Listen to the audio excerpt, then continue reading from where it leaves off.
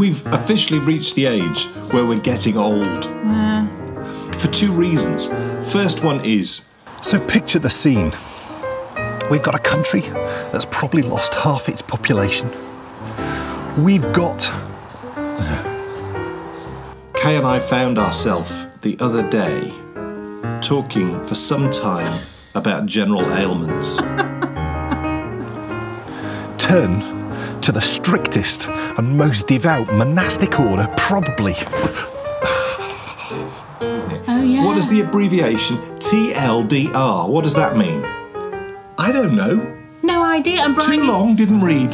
Pardon me, boy, is that the Chattanooga Choo Choo? Yeah. Track 29? Yeah. Of what you give me a shine? Bryony is like, do you not know what that means? No, No. because we speak.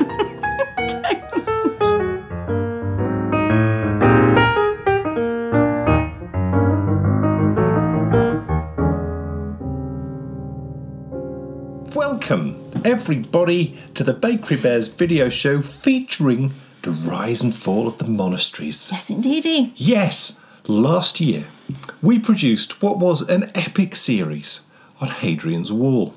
And over seven episodes, we told the story of the wall and, in turn, the story of England from the building of the wall to, well, never really was destroyed because it's still there now. Still there. Bits just, of it still just there. stopped being used. Oh, wouldn't it be amazing if it was still there as it was, 20 feet tall? That'd just be Don't start talking about walls, Kate.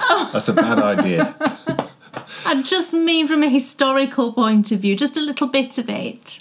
So 1900 years. That is what it was last year. It was his 1900 year anniversary. That's hard to say. It was its 1900th year anniversary. It's the whole reason why we did it.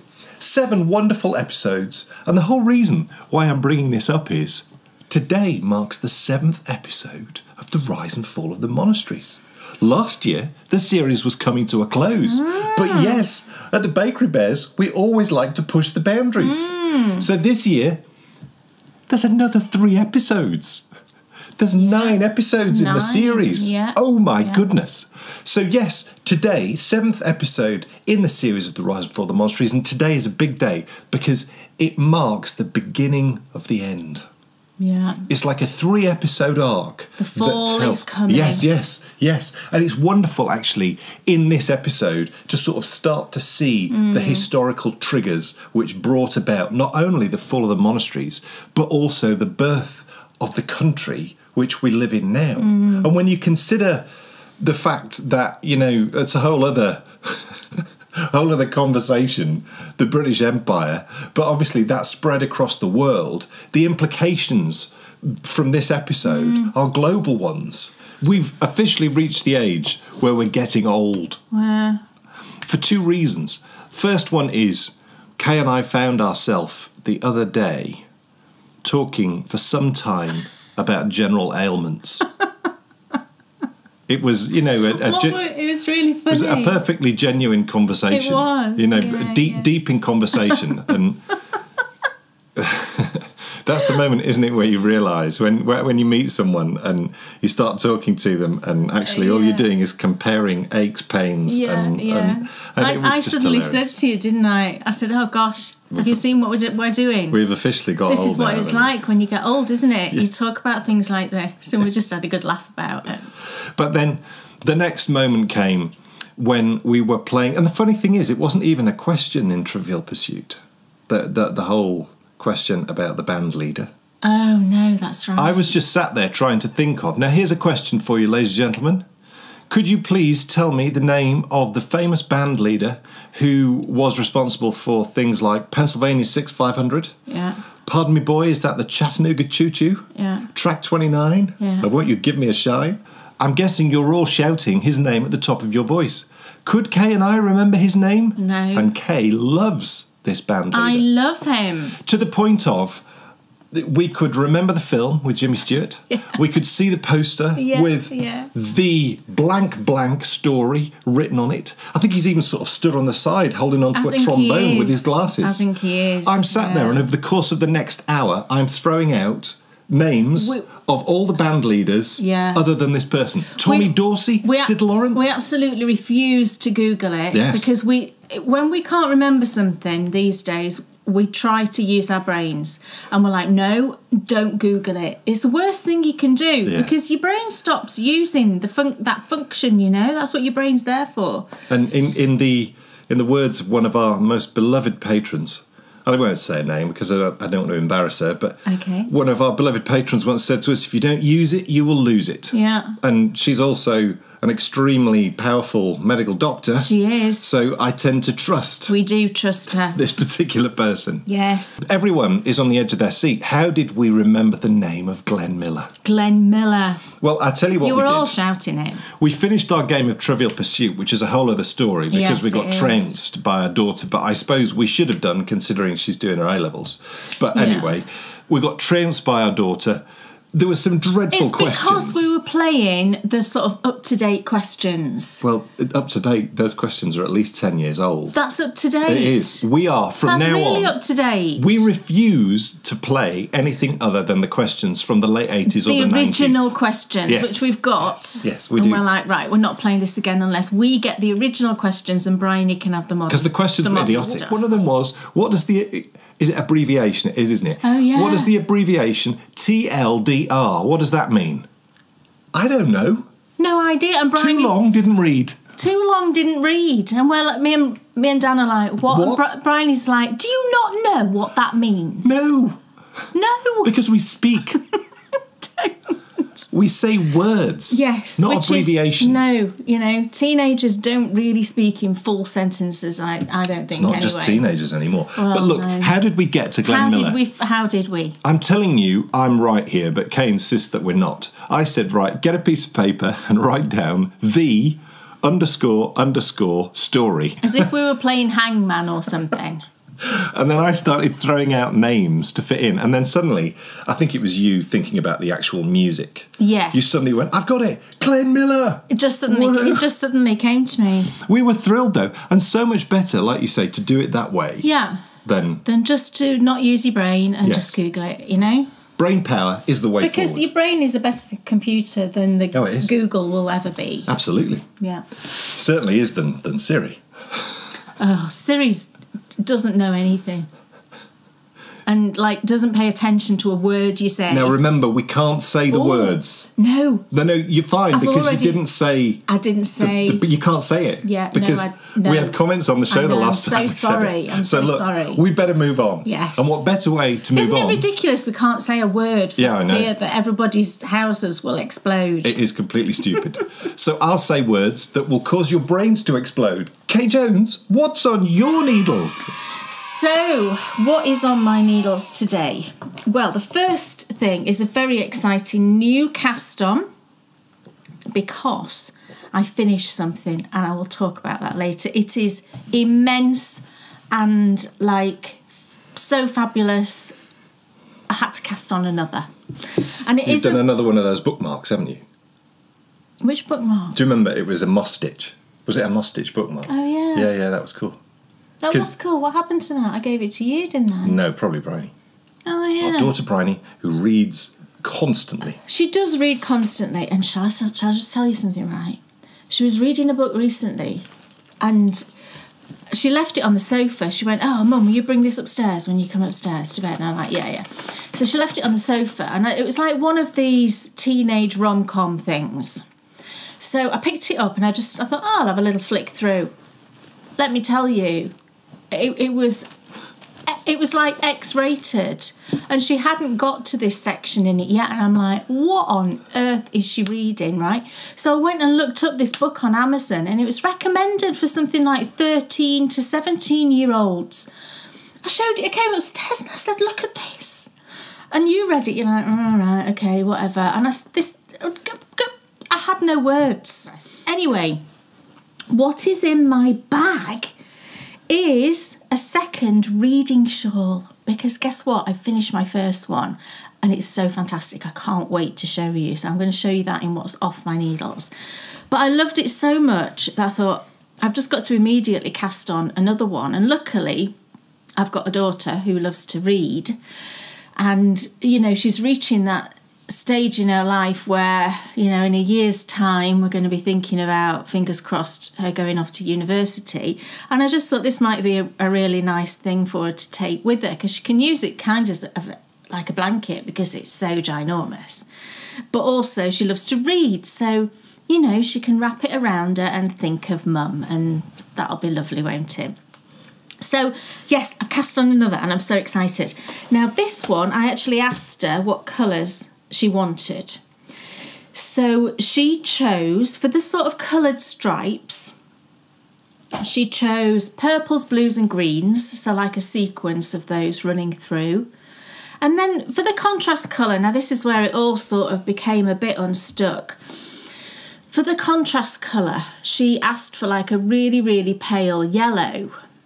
And I was like, hmm, not sure how that will look with the other colours she's asked for, but I'll go with it. That's what she wants. So I dyed up some yarn because I didn't have anything in my stash. So I, I dyed up some yarn and I showed it to her and she didn't like it it, it was it did come out quite a bit brighter than I expected. I used the li- littlest amount of gold ochre, jacquard gold ochre, and it just came out a colour that I did not expect. I kept a little bit of it because actually what I did was I over dyed it, and I'll show you that in a second. But I kept a little bit of the colour to show you. So if I show you, can you just see how it's it is a pale lemony colour, but it's quite a not neon, but it's really quite bright. And she wasn't keen on it when I showed it to her. But I thought, I said, you know what, I'll just start knitting it into the shawl and we'll see what it looks like. Well, I started knitting it in and it looked awful. and I showed it her again. I said, look, this is just not working, this colour. I said, what about a different colour? And I said, I know you really like purples. So, what about a really, really, really pale, sort of silvery lilac? And she liked the idea of that. So I said, right, okay. So I went away and dyed some more, and I'll show you that. But what I did when I dyed up that colour was I thought I'm going to over dye this yarn because I had quite a lot of it. I thought I can't waste it, so I'm just going to over dye it. So I over dyed it with gunmetal from Jacquard, and this is how it came out. And I think it's lovely. Mm. So look at that. Now you can see it's got that slight yellowy undertone, but Dan thought it looked like um, washed out denim, and doesn't it? So now I've got a quantity of this colour for if I want to make yet another reading shawl in the future because what I've paired it up with in a bag down there is a whole um, advent calendar of yarns from Sherry Iris that I got a couple of years ago that I've been waiting for something special to knit with them. And Sherry's colours are very gentle and delicate. So, and they range through sort of pinks, blues, greens. So I thought this would look perfect with them. So I've got another kit, if you like, down there set aside for a reading shawl. So let me show you where I'm up to on the second one. But here we go. Oh, isn't it lovely? So can you see that really gentle silvery lilac, which is this one here, look. Isn't it lovely? Just gorgeous. I dyed this one and it, it looks perfect. So I started out this one. Can you see this brownie colour here? Can you remember I made Bryony's boyfriend some fingerless mitts earlier this year sometime? Well, this is the yarn that I used and I said to her, oh, what if I know you want purples and blues and greens, but what if I started it off at the top with that yarn?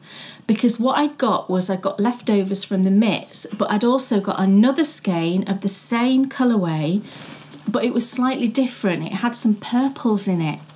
I thought, brilliant, I'll hold them together. So that's what I did. So it's this sort of brownie colour, but there are some hints of a purple in there. So I started it off with that. And this these were from Pixie Yarns. So most of my coloured sections in this one are Pixie Yarns, and I'm going to show you some of them in a minute. But I didn't quite have enough, and some of the colours weren't quite right. So I've added in some others as well. But it's mainly Pixie Yarns that's going to be the coloured sections. So we started off with that lovely sort of autumnal colour and then we've got the stripe of the contrast, and then we've got this gorgeous purple. And this is a combination of quite a deep purple, fairly solid mini, and I held it together with one that I dyed up that was a Harry Potter colourway called. It wasn't Di- Diagon Alley, it was the other alley, Knockturn. It was Knockturn Alley, and I think that just looks really lovely. And now I'm into another contrast section. So, isn't it just going to be gorgeous? It's going to be so autumnal looking. So, my next two colours are these two purples. These two are pixie yarns, and look at those. Aren't they lovely? Just gorgeous. I've paired them up. You can see I've just tied them together. So, those two are going to be the next one. And then in this bag, I've got all of the other colours. So, we've got purples in there, a bit of sort of red to sort of go with the purples, and then we've got greens and we've got blues. So I think it's just going to be lovely. And I love the contrast. The contrast is the same base that I'm using for my favourite blanket, but this one's got sparkle in. And I said to Bryony, because I had some 100 gram skeins of this in my undyed stash, and I said, Is it okay if if it's got a bit of sparkle in? And she was fine with that. So this you won't be able to see, but this one does have sparkle in. And to dye this, I went so delicate with this because I did not want to mess this one up like I'd messed up the first one. I used, I actually used in the end, a teeny speck of um, a black from Landscape Dyes, which was Kurawong. I like their black. It's, it's a proper true black. A tiny speck of that to give like a little hint of silver. I know it sounds weird that you would put black in to get silver, but it works. And then a little tiny bit of jacquard purple. And that's what created this gorgeous silvery sort of lavender colour. So I am happily knitting away on another reading shawl, and I think it's just going to be so lovely. Now, I have written this pattern up, and it is currently in testing. It's just literally gone into testing. It's a big shawl. I mean, you'll see when I show you the finished one. It's a big shawl, so likely testing will take a little bit of time, but I, I will hopefully get this released in plenty of time for kind of advent calendar season this year. So it's going to be sort of maybe October, November time that the pattern will come out, which is perfect time, really, isn't it, for starting to knit a lovely, big, comforting shawl. Lovely. Yeah, so loving it. Dan Jones? Yes. What's on your needles? Some people might go on roller coasters. Some people might jump out of aeroplanes. Some people might climb really high mountains to get a rush. What I like to do is do a Latvian braid whilst being filmed. Is that what you were doing? That's one of the best rushes I've ever had in my life. Right now, I'm like, everything's going. You're a brave, brave knitter. Oh, yes. Ladies and gentlemen, I've really thought, Uh, do you know what? I've definitely fallen back in love with knitting small projects. And when I say that, it's a love hate relationship because I'm not very good at it. And I think that's the reason why I pushed into the bigger projects. Because once you're off, you're off and you're knitting for ages. And then also, as well, I do have that sort of stress when it comes to finding things that I want to knit. I've realised now that I have to do small projects because if I do small projects, a number of things will happen. The first one is I'll do more cast ons, and I do tend to. I'm getting better at cast ons already because I've cast on more small things in the last few weeks than I have in a long time. So I'm getting better at cast ons, and I actually think, if you recall, if you've been a a, a viewer for a while, you'll have seen quite a few times me talking about Mobiusing things, and I have a feeling that I was ripping stuff out I hadn't actually Mobiused. I think that I was joining in the round. I was knitting. Well, I know I was knitting across the first needle. I was looking back at the gap, and I think I was doing it right because I think you've got to knit a round or two before it starts to really take shape and Yeah, you can tell more easily. I mean, I, if you're experienced, you can tell on that first round if You can. have if you've Mobiused it. I could, Equally- I could probably tell, but equally you would need experience to tell if you hadn't as well. yeah, And so I think that I was looking at it because it does look a bit It- off. yeah, it does. It does. because I- I've sort of been knitting with a little bit more confidence, knowing I've done it right, and thinking, no, no, just carry on. It's it's going to be fine. So I've got a feeling that there were moments when I was ripping stuff out I didn't need to, and it all comes down to practice at the end of the day. So It the does. more I knit small mm. things, the better it's going to be. This is the Equinox mitts. Which I hadn't knitted on for a while. I picked up about two and a half weeks ago, and I've really been blitzing through this because Yeah. the last time I showed you this, it was down here. Yeah, So picked up, finished this off, which was great. it's lovely. On the pattern, it said, "Ask me about carrying on the texture," and I Oh, did not ask you. Oh right, okay. So- yeah, so I wrote this pattern for Dan for his birthday, and because the the pattern goes into the decreases at the top, and I wasn't sure if he would fathom how to do that, so that's why I put that. But you did, Yeah. So that's brilliant. And I, I like things like that. You know, it's what an experienced knitter would find very simple. I don't find it quite so simple. I find it engaging, which is really mm, cool. Mm. It sort of takes away from that mindless stuff, which I never really want to, to have much to do mm. with. But finish that one and then cast on the new one. The new one, Woohoo! Yeah, the second the one. second one. Cast on the second one. So bit of lace and then into the Latvian braid, and I'm just literally just started the Latvian braid now. Latvian braids are fun. Oh, it looks lovely, doesn't it? Latvian braids are properly fun. And the yarn I'm using for this is the Merino Yak. It's Regia Merino Yak. Can you say the actual first word it says on the on the band? No, No. that long word beginning with an S. Yes, yes. So it's a really fun first word to say. Yeah. Also, as well, try typing that on a review. so Equinox mitts, second Yeah. one on the go, Yeah. getting ready to knit into the hand now, which is great. Yeah. So all good. Yeah, and it fits perfectly. And I, I've never designed an, a full mitten before with, you know, with a top. Obviously, it's got a top with the decreases here. And I really love how rounded the decreases have come out. And this hasn't been blocked yet. And it fits perfectly. It's just got to obviously do the thumb. You're you're saving the thumbs for last. I'll just do them both Yeah. at the same time. What else um, Right. is on your needles? So I've got a new sock cast on, which is exciting. So I've cast on some red socks because we're in July, aren't we? I know that we're almost out of July, but I do like to do a little bit of Christmas in July if I can. Oh yes. I really fancied doing just a plain red sock. So I went searching for the perfect red and I I remembered this colour of yarn. I thought, oh, I think that'll be spot on. So I went and bought a skein and it's the Malabrigo Ultimate Sock which I've spoken about before. It's a fairly new yarn. It's like Malabrigo sock, but with nylon. So it's it's lovely and soft and round and plump and just gorgeous.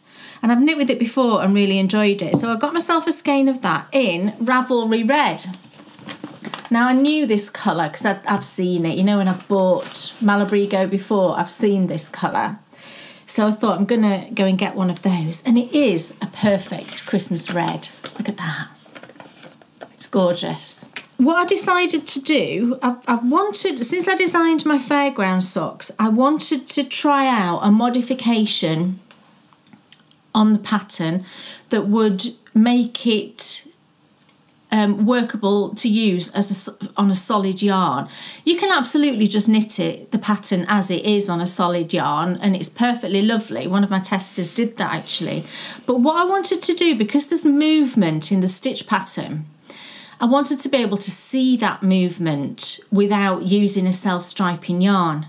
So I've added in some extra detail, including a purl ridge, and it's the purl ridge where you see the movement.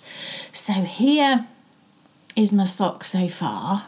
So you can see it's the fairground pattern. It should be quite recognisable if you've knit this or seen it. But that addition of the purl bump row, the purl row, means that you get that wavy pattern and you can really see it in the sock. Isn't it lovely? So I'm just about to finish the gusset decreases and then I'll just be working down the foot. I did. Ha- I posted a picture of this on Instagram, and I did have a few people message me and ask me what the modification was. And that's a really tricky thing to actually tell you because the pattern is a paid for pattern, obviously. That's And- really funny. I, I you know, if it was free, I could just tell you, couldn't I? But the the problem is to tell you what modification I've done. I've got to be careful not to tell you what the whole pattern is. Does that make sense? Like, oh, this Coke's really nice. What's the ingredients? Yeah, yeah. So it's kind of difficult for me to tell you what the modifications are. However, what I'm going to do, I'm going to write an article for the Christmas Knitability, and I'm thinking I might do it on Christmas socks. So within that article, I'm sure I'll be able to find a way of writing down what the modification is without actually giving away the pattern. So if you've got the pattern and you read my article, you will know what the modification is. Does that make sense? It does make sense. So I think that's what I will do. But for now, I'm just going to carry on knitting my lovely festive sock. And I'm using this as bedtime knitting actually. And normally. Is it working? Well, it is. I've only made one mistake, and I did one. You won't be able to see it, but on the this side of the gusset decreases, I made one decrease when I shouldn't have. So do you know how you decrease every other round? Well, I must have done it on two consecutive rounds because it, I could see it was off slightly, but doesn't matter, does it? Just doesn't matter. So I just made up another decrease on the other side to even it off. And it's totally fine. So, yeah, I am managing to knit it for bedtime knitting, which for me is an achievement because there's pattern in it. And normally, when it gets to bedtime, I just can't do anything where I've got to think remotely. But so far, this is working. So, I'm going to keep this as my bedtime knitting. It'll take me a while to finish the socks because I only knit generally for about half an hour at bedtime because then I just fall asleep and I'm it's a disaster. I'm so bad these days. I just fall asleep, don't I? Why are you looking like that? No, no, nothing. He's looking like that because he's like laughing at me because he knows as soon It's actually 15 minutes. it's not 15 minutes. I know it isn't. It is not. The last two nights we've got through almost a whole episode of The Good Wife. Yeah, that's because it's been dramatic. Yeah. And you've been engaged It's with the kept- episode. It's kept me awake. So I've been doing better. Uh, that's really funny. Do you know what? It's an interesting point that you make about bedtime knitting because it's a fine balance. If I knit, I couldn't do plain knitting at bedtime because I'd be asleep in less than half I an hour. you see how you say that. I know. I have to, but I can't do too complex. No. Otherwise, like I couldn't do lace at bedtime. I'd be. Well, this is effectively, there's a bit of it. I've, uh, this is. I mean, I'll, I'll show you this in a That's second. quite, you, that's quite involved to be doing at bedtime. It isn't. Oh, okay. All right. It's not. Uh, uh, yeah, I've, I've dipped, I don't want to cut you off. Okay, no, no, it's fine. It's fine. So, yeah, I mean, it, so far it's working for bedtime knitting. I mean, does anybody else do bedtime knitting? We- If you don't, come and join us. It's marvellous. Not literally in our beds. Although, come and join us, you just Oh, no. said. Yeah, sorry. You're all rushing round to come and join us and do bedtime knitting and watch Good Wife, aren't you? I thought you were meaning we didn't actually knit in bed. I'm going, yeah, we do. no, we do. Yeah. You thought I was giving an invitation for people. No, no, no. No, behave. You're the one who said it. We're not the two Ronnies. What? Yeah. Oh. Who used to say Sort that? Sort the glasses out, Kay. we need them back. Behave. Who used to say that? I can't There was a comedian that used to say that. Back yeah, in the day. was it Dick Emery? Oh, it might have been. I didn't really like him. Mm, yeah. I didn't didn't think he was very. We need the two Ronnie's glasses back. Yeah, I know. I'm taking my other pair of glasses to have new lenses put in. I'm gonna try and get this weekend to get new Make lenses sure- put in. We don't have. Look, I need to. I will make sure I tell them. Do not mess up these lenses like you messed up these ones. We need a long corridor, whatever it- that means. Was it I three don't attempts? know. No, two. Two attempts. Two attempts, and, and they got it right. But anyway, yes. So I'll be carrying on knitting my lovely red socks, and at some point over the next few months, I will hopefully have a completed pair. So, in my sort of passion for smaller projects, and I have to keep this up because I'm, I cannot go through this whole pain and rigmarole of challenge with the smaller projects. I don't know what it is. It's like a mental block. Well, so I'm going to make sure that in my rotations, I always have a small project on the Yeah. go. Not do a few weeks on small, then a few weeks on big. Yeah. Big and smaller. Big and small. That's what our daughter Bryony used to call the TV program, CBeebies which was called Big and Small. It was. So I finished one of these socks, Oh, I'll get a blocker. and it fits Bryony lovely. She Well, was. It does, yeah, yeah. I asked her afterwards, and she said, "Yeah, it's fine." I said, "You sure?" She said, "Yeah, it's fine." It just needs a bit of a block because there's cables. It you know it does pull in Ooh, a bit. sucky. Yeah, it's sucky on the leg, but you know she got it on. Yeah, And it was- that sounds great, doesn't it? She got it on. It's like me with my running yeah. tights. It's such a lovely pattern, and it looks gorgeous when it is spread out like that. It does. That's when it really starts to fly. It's pretty, isn't it? So last time you saw this, I was over here. I was uh, heading Somewhere towards the toe, here, yeah. and so finished off the toe, which is lovely, and cast on the next bit. The neck. And what I like about this next bit is there's like this sort of sort of transition. It's sort of like going purple to pink. I can see it more. Yeah, I dyed this yarn, I and it, it, it is. It's what? It's cool. Yeah, because I can't remember exactly how I did it, but Makes me think of sweets from the 80s. I don't know why. yeah, the process involves two, at least two different dye colours, and you dye the yarn one colour, and then you effectively over dye it with the other colour, and that process means that you see the undercolour sometimes, so it's very sort of purpley pink, but such a pretty colour. Do you know what it made me think of? And I really don't know why it did. One of my favourite sweets to eat when I was. What else would you do with Look at it. Look at it, Kate. One of my favourite sweets just look to admire. Uh, I tell you, fa- sweets that you should admire and not eat are York fruits. Do you know what a York fruit is? I do know what a York fruit is. Those jelly things. York isn't it? fruit. You get them at Christmas and you never eat them. Is Well, it that that type of thing? I, I think it, it, grandparents get Yes. them at Christmas, and they look like big fruits, don't they? and they look like you imagine a sort of fruity burst of an explosion in your mouth. It's just sugar. it's just sugar, and they're coated in sugar, And they are they? coated in sugar, and they're sort of soft in the middle. Yeah, They Yeah. are absolutely disgusting, but they're gorgeous to look at. yeah. So that's a sweet. That's like marzipan fruits, isn't it? That they're lovely to look at, but oh, I know I can't do I, it. t- I tell you another thing I that's lovely to look at, but I don't want to marzipan eat. It's that green stuff that they put on cakes. What's that? Angelica. Angelica. Yeah, I don't think they really use Angelica. That was a very 80s thing, 70s, 80s thing. Always in the baking cupboard when I was young. Yeah, they were triangles, weren't they? Like diamond. I think you- not triangles, diamond Absolutely, shape. you could get them in diamond shape, Yeah. but I think you could also get like a big A lump of a- it. And my mum always, my mum always had a lump of it in the cupboard. Right. And for years, I'm like, oh, can I just have a bit? And she always went, no, no, no. And then one day she went, yeah, okay then. It's horrible. Yeah, it is. It's a plant. I- It's an actual plant. Angelica. So she was saying no to me, not because, oh no, you shouldn't be eating Yeah. that. It was, you're not going to like that. No, it's the crystallized fruit. It's like, you know, when you get mixed peel, so Yeah. it's orange and lemon peel. Yeah. It's the same kind of thing. It's an actual plant that's crystallized. Yeah.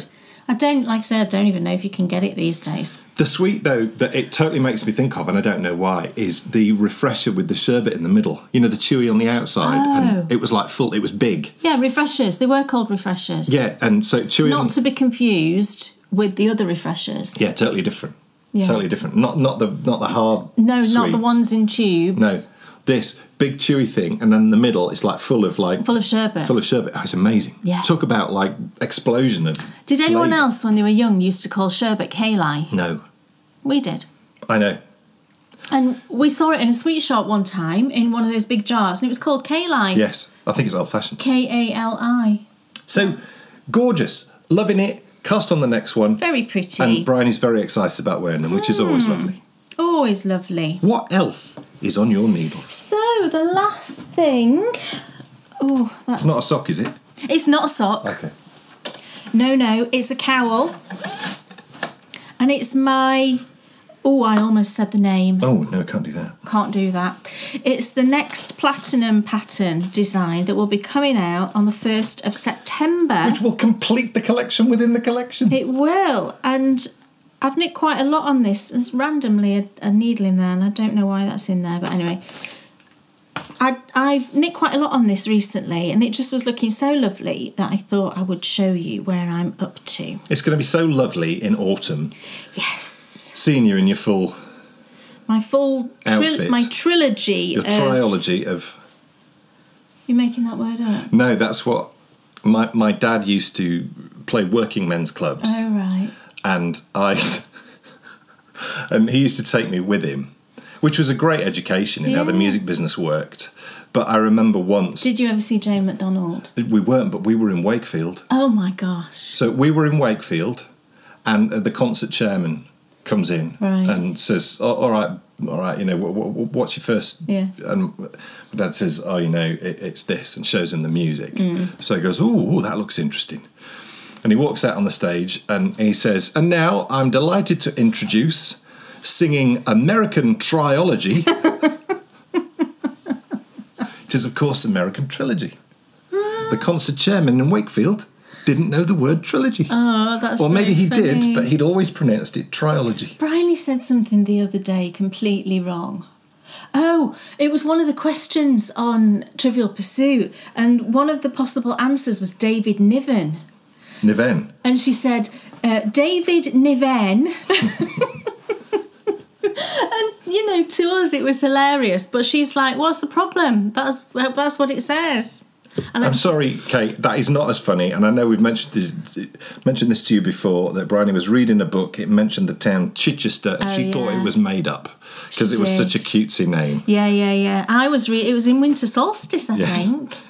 And the the town Chichester was mentioned. That doesn't exist, The next does it? day she said to me, Why does it say that about Chichester? That's gotta be a made up town. And I'm No, like, No, it's, it's on- real. It's right down on the south coast. So now every time Chichester comes up on a programme or anything, like Michael Portillo was there recently and I said, Guess where he was, Bryony? And she went, Was he in Chichester?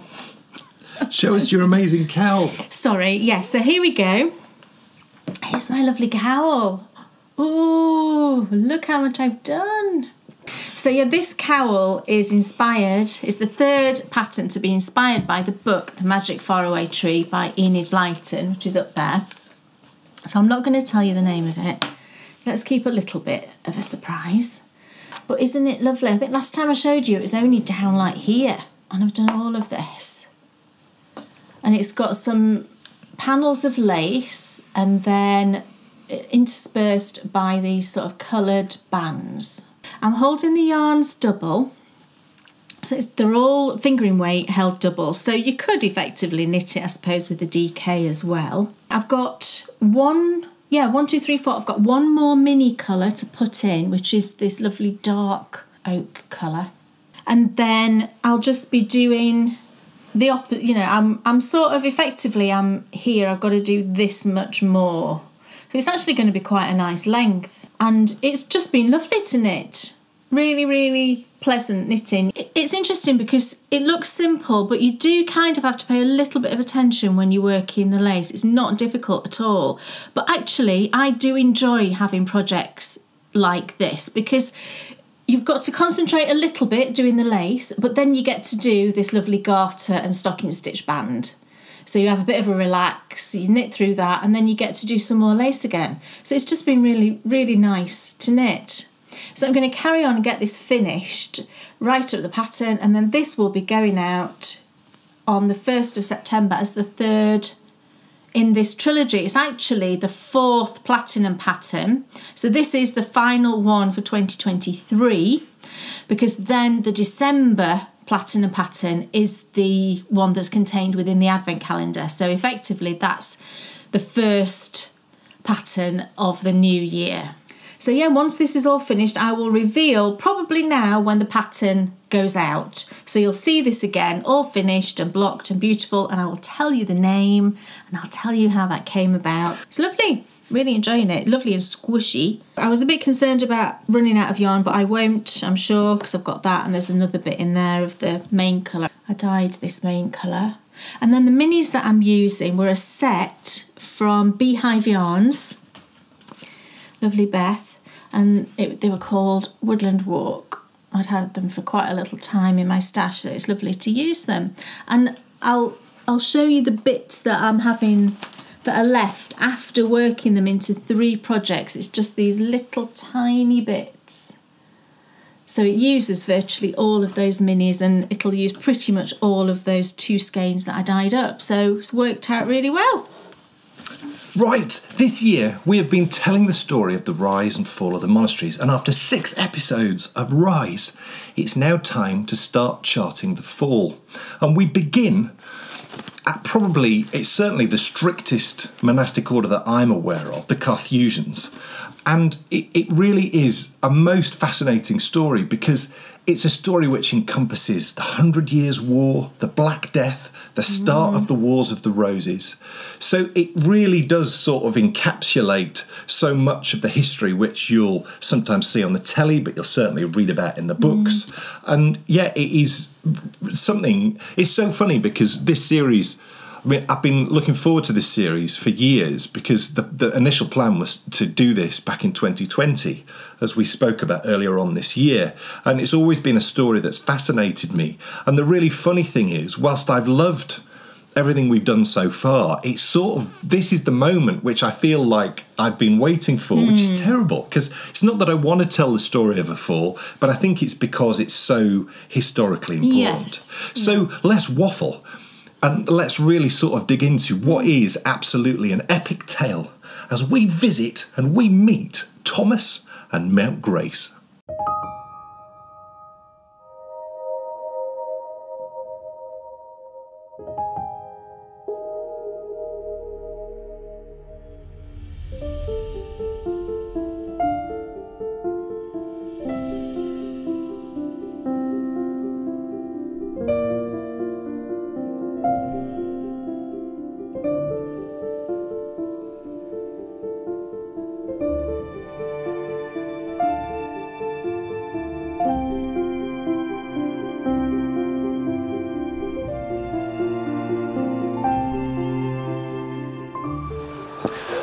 Fifteen hundred years ago, a way of life arrived in Europe that shaped the development of the world we live in today.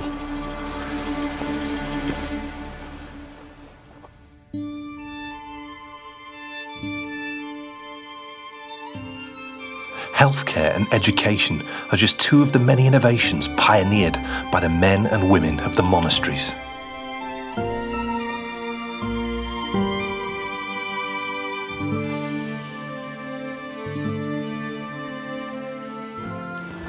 From the height of their powers at the time of the Normans to their total destruction at the hands of a tyrant king and a cruel emperor.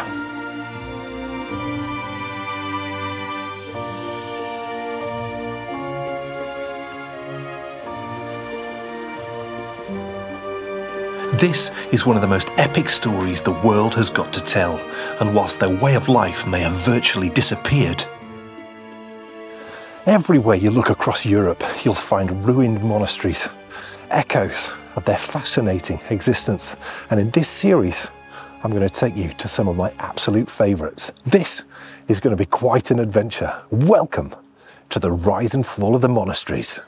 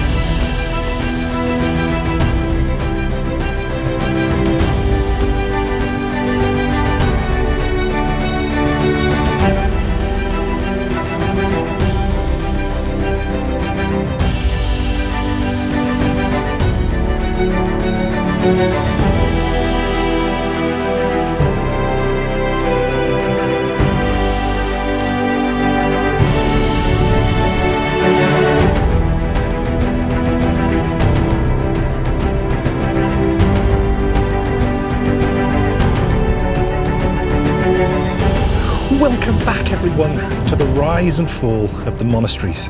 You join me just east of Mount Grace Wood. We're in the North York Moors National Park, and this is actually a place that we visited twice already this series when we discovered the stories of Rievaulx and also the story of Byland Abbey. It's an absolute delight to be back here in the North York Moors because, as we discovered in episode one of this series, this was the place, the North York Moors National Park, that my mum first took me and my brothers to to see our very first monastery after we made that first discovery so close to the school that we attended when we were boys. The thing that I love about the North York Moors National Park is it's just so rugged. It's a completely different landscape to where we were last time. We've actually travelled just 27 miles west of Easby Abbey and the foothills of the Yorkshire Dales, and we're about five miles just south of the market town of Stokesley, and we're about seven miles, we're sort of northeast of the market town of Northallerton, where my mum actually grew up. She spent a lot of her formative years in the 1950s. Now, it's an interesting phrase, isn't it, that market town? It's one that I've heard since I was born. I've always been taken to market towns, and people have always talked about market towns. The funny thing is, it's a term which it has absolutely no significance really today, but in medieval times, and even earlier than that, it was really important.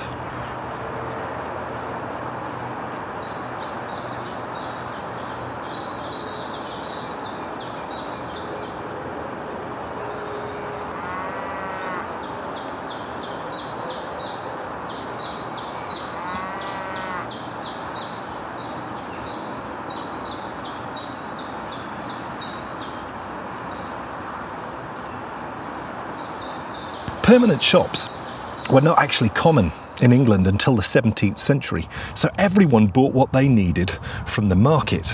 And gaining a charter to actually be a market town, it was a really big deal because you knew then that there couldn't be another market within a day's ride of your town. And also, it was a guaranteed money spinner because absolutely everyone came to the market to buy everything that they needed the days of the market they were pretty much over by 1948 when the first supermarkets opened. But a thousand years and even more than a thousand in some cases on from when those first market charters were awarded markets still go on in towns to this day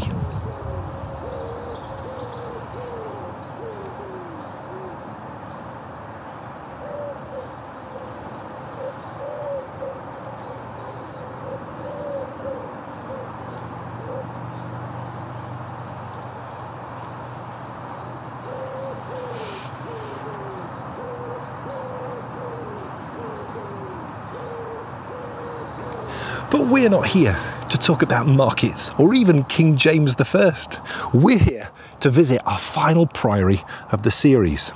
And as you might recall from our visit to Finchale Priory in episode 5, priories, they're called such because they're smaller than an abbey.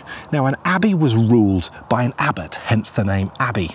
A priory was ruled by the next man down in seniority. He was the prior, and so it was called a priory.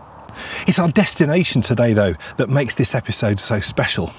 Because after easing you into monastic life with the Benedictines and the Savigniacs and the Cistercians, we're now really sort of going for it with perhaps the most austere and strict monastic order of them all, and they're called the Carthusians. They actually began life in the 11th century, much like lots of the other monastic orders, in the hills in France near a place called Grenoble. Their very first monastic house was called the Grand Chartreuse, and if you think that that sounds familiar, you would be absolutely right. The Grand Chartreuse, Chartreuse, it gives its name to an alcoholic drink. And that alcoholic drink the recipe it's actually it's the carthusians. They make the drink.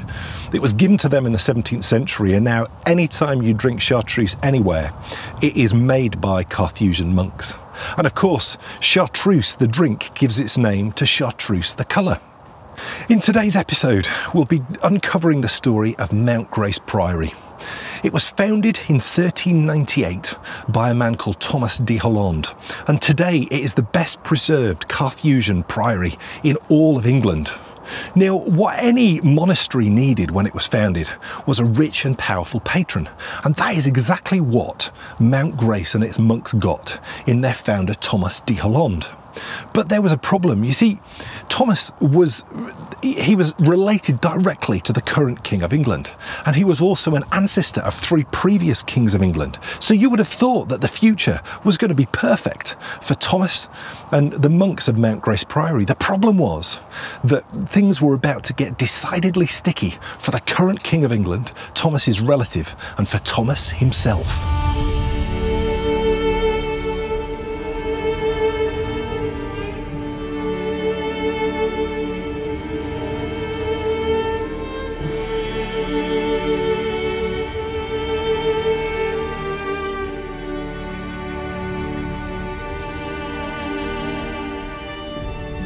Story begins in 1337 AD. England's king at the time was Edward III, and when the King of France tried to confiscate Edward's property in France, it started a war between the two countries, which would become known by historians as the Hundred Years' War.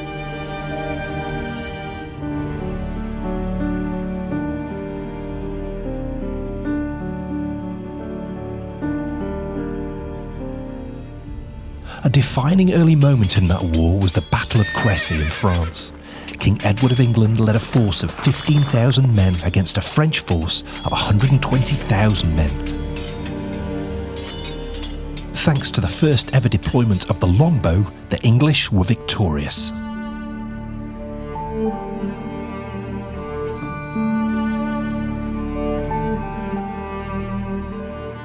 In 1348, with their lands in France secure, King Edward rewarded his most successful knights with the foundation of the Order of the Garter.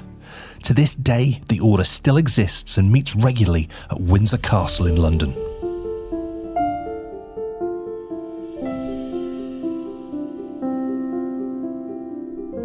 King Edward's war with France also spelt the end of French being the language of the nobility in England. This was now seen as improper, and slowly but surely, English became the language of Great Britain. But there was a problem. Within a year of the foundation of the Order of the Garter, the Black Death arrived in England. Travelling by sea on rats and transmitted to humans through infected fleas, in 12 months, at least 40% of the population was dead. The most acute and immediate consequence of this dramatic drop in population was a shortage of farm labour and a corresponding rise in wages. Society was now on a path that would lead us to the present day. Power was shifting from the rich landowners to the common man. Into this maelstrom arose a new king. Edward III died in 1377 and was succeeded by his grandson Richard. After the highs of Crecy and the Order of the Garter, the low of the Black Death drove the people of England to crave a strong and powerful king who would lead them back to the good times. The stage was set for King Richard II.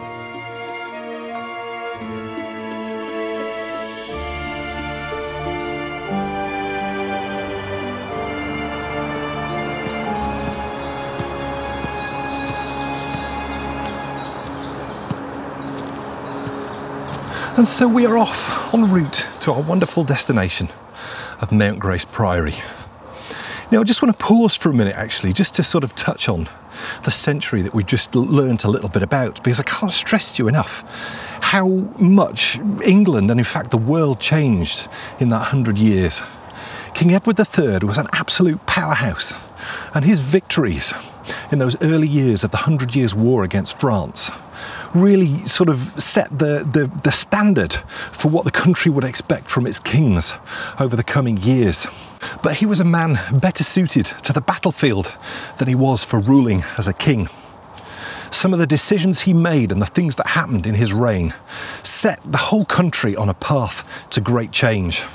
And as we've discovered already in this series, whilst the golden age of the monasteries was kicked off in 1066 with the arrival of William the Conqueror, it was King Edward III and his beginning of the Hundred Years' War that marked the beginning of the end of that golden age.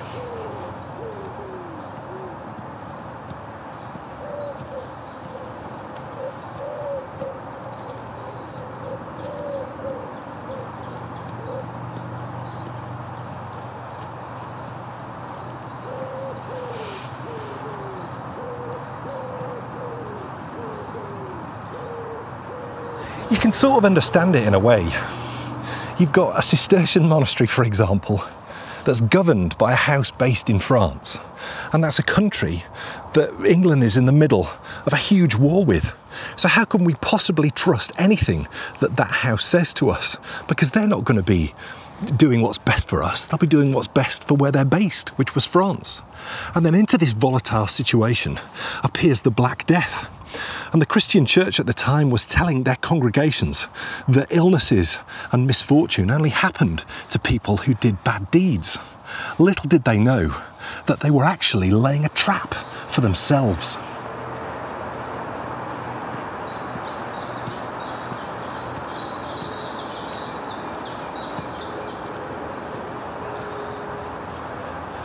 You can sort of guess what happened next. Everyone who was suffering from the Black Death turned to the hospitals that were based in the, the monasteries all over England. And so the religious communities of England were hit worse than any other sector. Some historians pessimistically say it was probably 40% of the community that died. And so, when you consider what we've just learnt, that the Christian church was telling people that it was only sinners who would die from the Black Death, it's not difficult to understand what happened next.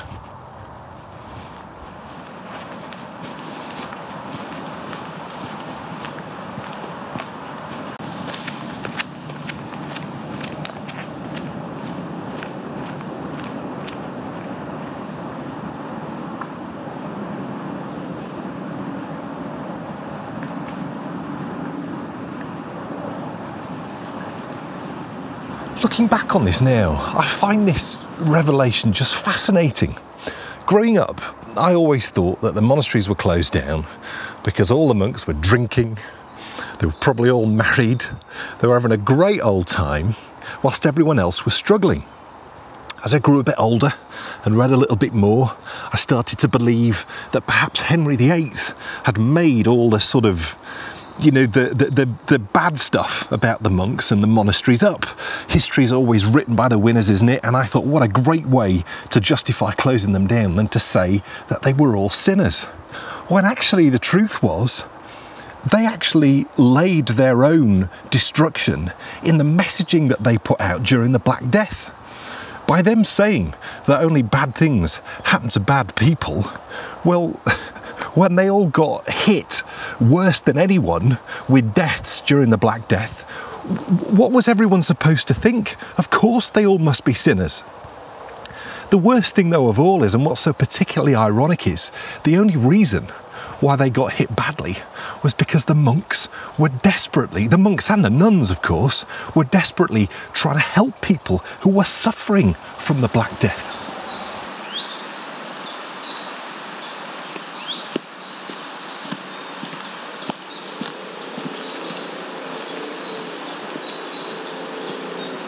So picture the scene.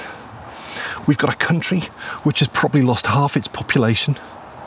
We've got a war going on in France, which has been going on for decades now, and quite frankly, we're not doing very well. The monasteries run pretty much everything from the hospitals to the schools to the roads to anything of real importance, but we don't trust them anymore because we think they're all sinners. But we know that we need them. So, what possibly could we do?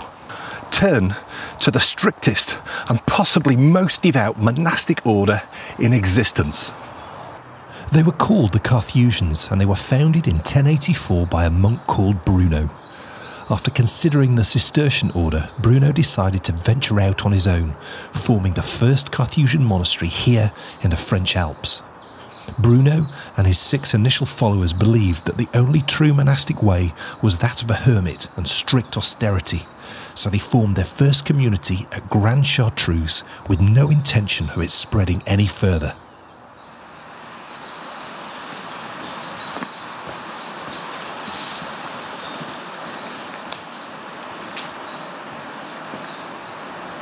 The strict austerity did not appeal to many, but slowly the Carthusian order began to take form.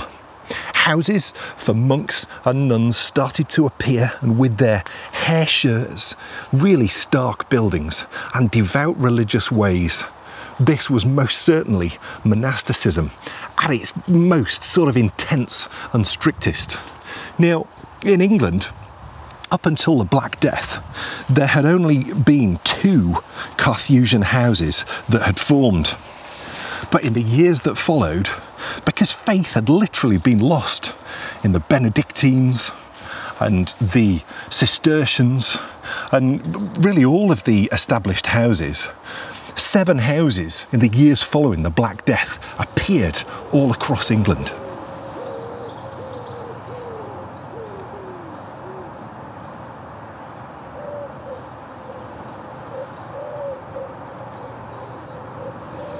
So, who was it who founded this first charter house in the North York moors of England? Well, it was Thomas de Holland, half brother to the new King Richard II. Now, Thomas had seen and taken part in some of the greatest battles in the Hundred Years' War, those first sort of battles that took place.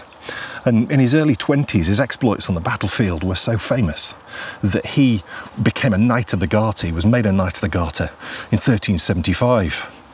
In 1377, when his half brother, King Richard II, became king, Richard himself was only 10 years old, and Thomas was 17 years his senior.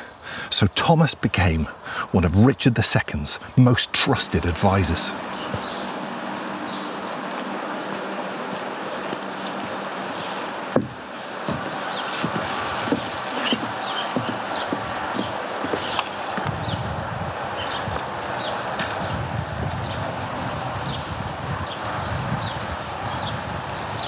Given the state of the country at the time, I don't think anyone could have been successful. We had, you know, we're in the heart of the Hundred Years' War very much. We've just come off the successes of King Edward III, and the country now with a new king expects a strong and powerful leader who's going to lead them to more victories against the enemy that is France. But unfortunately, King Richard II, he was just not up to the task. Crisis followed crisis, and things rose to a head when Richard himself he started arresting anyone that he thought was a danger to him. And his actions at the time now they've been looked at by historians you know recently and they think there's a reason for this. His behavior seems very much someone that was suffering from a really sort of intense personality disorder. At the heart of all of this was Thomas de Holland and desperate for a respite and probably hoping to secure his legacy, he chose this moment in 1397 to found the Priory at Mount Grace. And my goodness, what a wonderful spot he chose.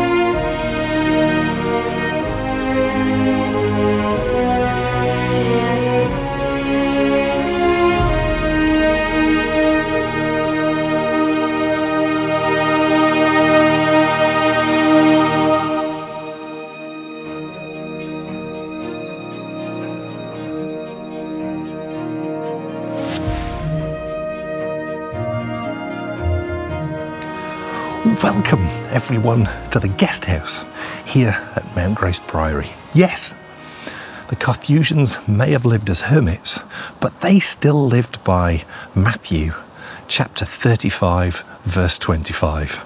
And if I was to turn up here in 1399 when the doors first opened and I was to ask for lodgings, they would have been absolutely thrilled to see me and they would have put me up in this rather special guest house. Now, you may have already noticed that things are a little bit different here at a Carthusian charter house. And everything that you would expect to see here is absolutely here, but it's just all laid out a little bit differently. And there's also some really special little extras that we've just not seen anywhere and we wouldn't see anywhere else because the Carthusians were so different. So let's take a little tour of this wonderful place and find out a little bit more about how the Carthusians lived.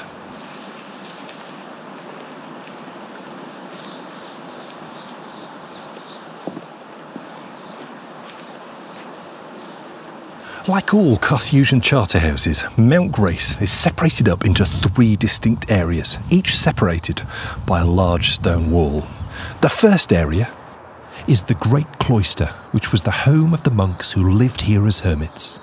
The second area is the Lesser Cloister, which was home to the lay brothers. And the third was the Inner Court, where guests would be welcomed and the lay brothers worked. It is to that second area, the home of the lay brothers, that we shall turn first. Because here at Mount Grace and at all charter houses, the lay brothers take on an absolutely vital part of the community, more so than any other monastic house in the world.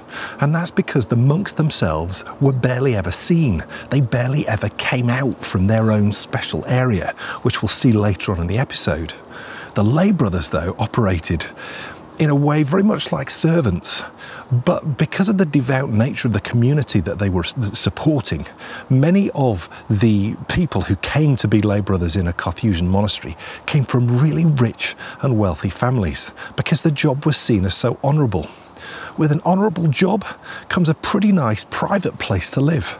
Let's go take a look at where they actually laid down their head at night after a hard day supporting the workings of Mount Grace Priory.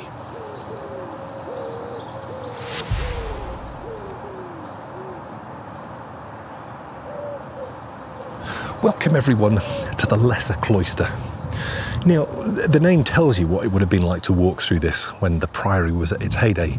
There would have been a covered walkway going all the way around this, allowing the lay brothers, because this, it was the lay brothers who lived here, and it allowed them to move from either the Great Cloister, which we'll see later on in today's episode, or the inner court, now, it would have been a bustling community actually, with people coming and going at all hours of the day and night actually, supporting the, the workings and the runnings of the priory. And the buildings that I'm walking along here was actually where the lay brothers lived. Now, not much remained, but enough does to get a sort of tantalising idea on what life must have been like here for the men doing all the manual work. Let's go take a look.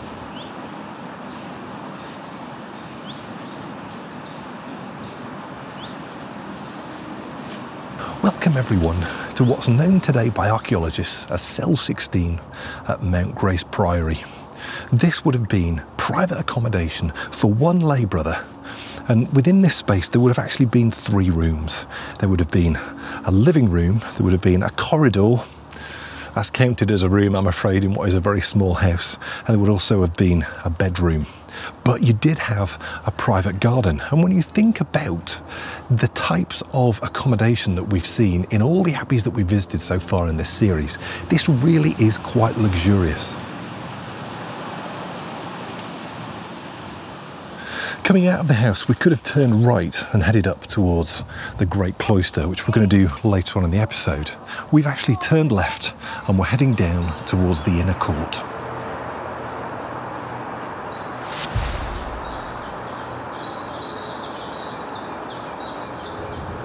This is the place that the lay community would have spent a huge amount of their time.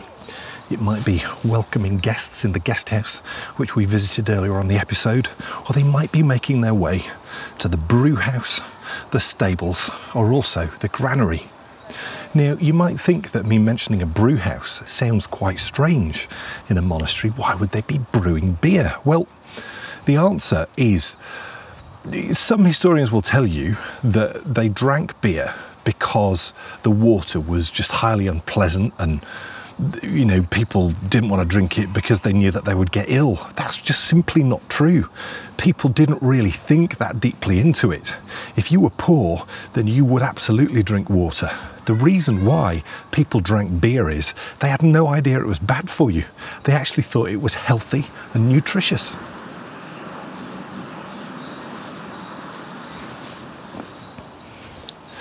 And this is where the first stage of the brewing process, but also the process of making the Abbey's bread, would actually happen because this was the granary.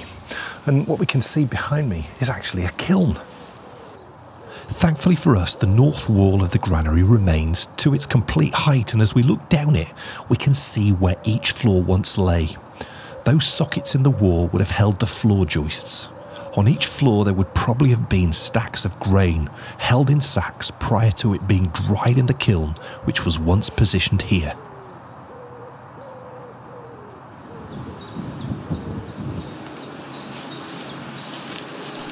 Now, the inner court was very much the buffer zone between the outside world and the monks who lived in the great cloister. Visitors would regularly arrive here, and as we've seen, they'd be put up in the guest house. But they often came on horses, and so they needed a place to put their horses. And also, sometimes the prior did actually leave the, the, the, the priory to go away on priory business, and so he also needed a horse. So, the final place I want to show you in the inner court is the stables.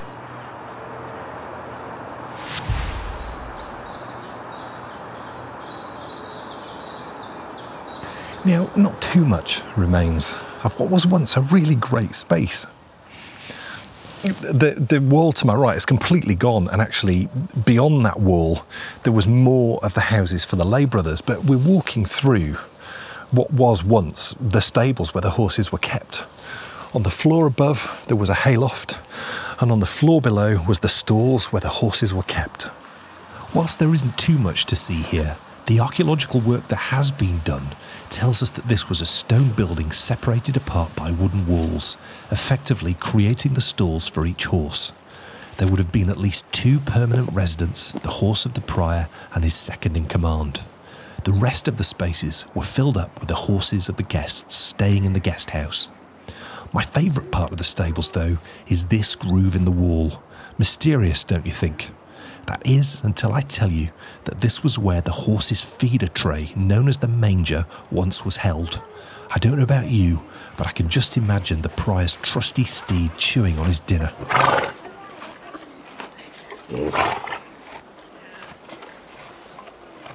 But what of the prior and his monks? We've taken a look at three quarters of the priory site, and we've yet to actually discover anything about the Carthusian monks themselves. That's because they were living a virtually secluded life in a part of the priory known as the Great Cloister.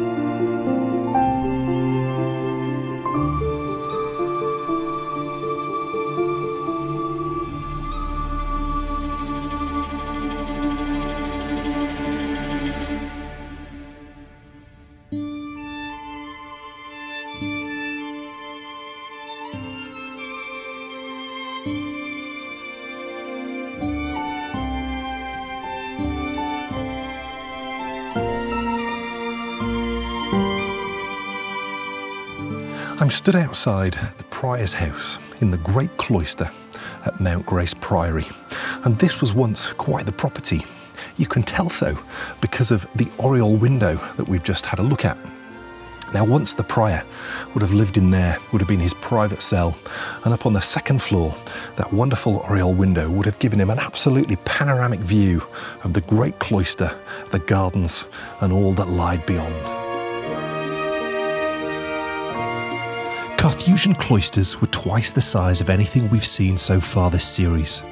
The gardens would have been used to grow herbs for use in the hospital and, of course, the kitchen. At the centre of it once stood an octagonal water tower, built in stone not long after the priory opened, but now lost to history.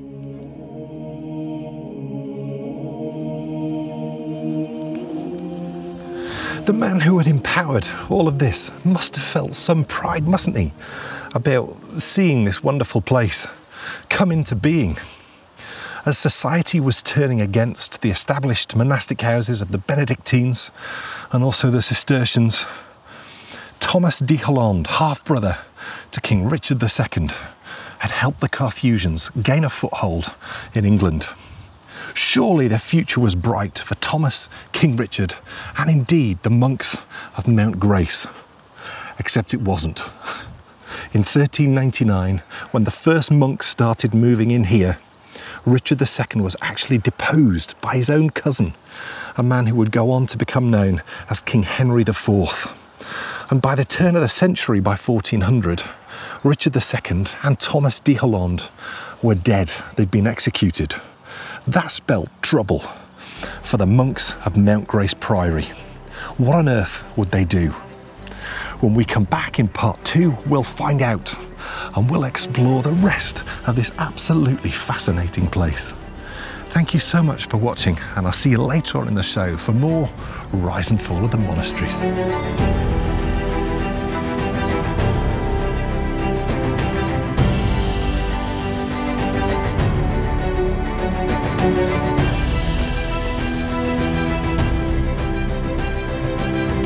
What a fascinating place.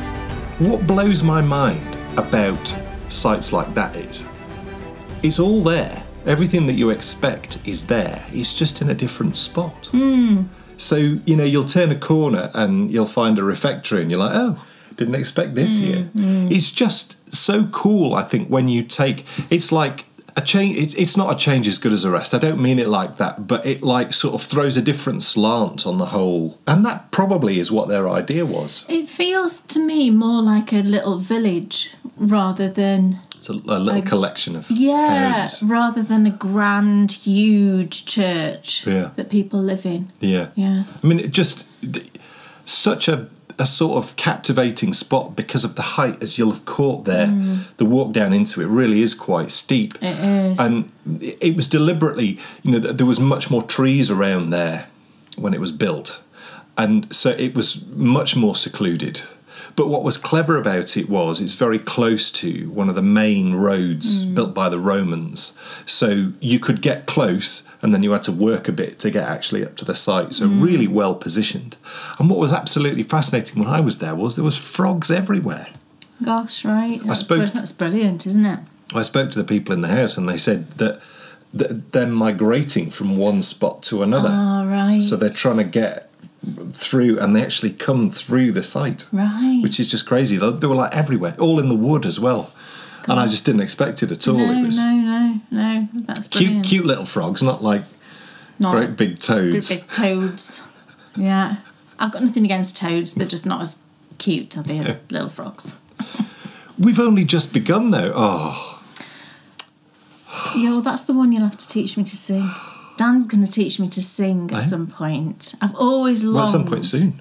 Yeah, I've always longed to be able to sing, and Dan's going to teach me. So The reason why I stopped there for a moment is I have a great love of Karen Carpenter. yes, and he's going to teach me a Carpenter song, but you've Yeah. just not decided which one. The, the, she's just like Oh, angel, The voice of an angel. and and and the the, the drumming skills yeah, of, of a demon. I mean, for you, it's like just perfect like combination. you g- go listen to "We've Only Just Begun." Ah.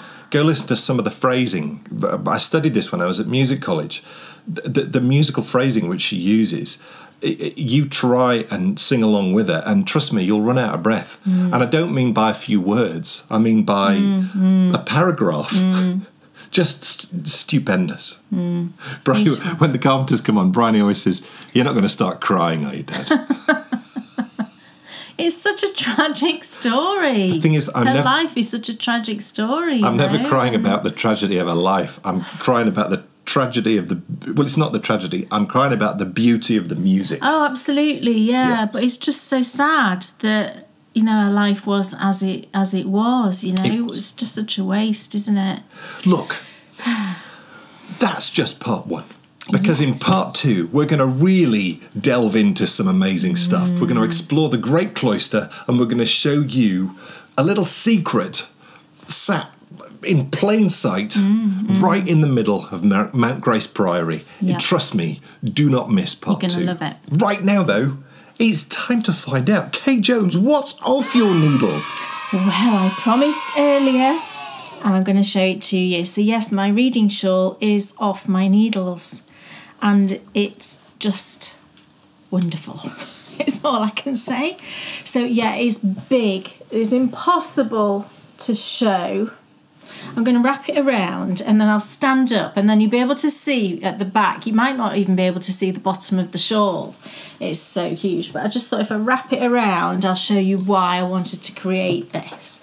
Oh, look how wonderful. Let me just stand up and if I turn around, I don't know if you'll see. Oh, oh, it nearly fell.